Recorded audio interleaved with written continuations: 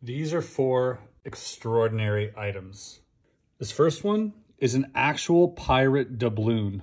This one is from 1740. You can see the 740 right there. This is almost 300 years old.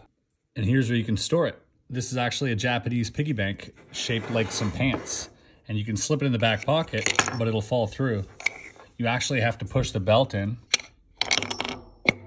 And now it's stuck inside. This is just a mesmerizing desktop piece. Watch what happens when you spin it.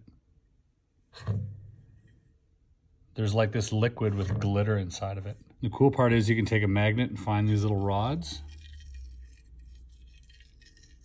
and swirl them around. Check this thing out.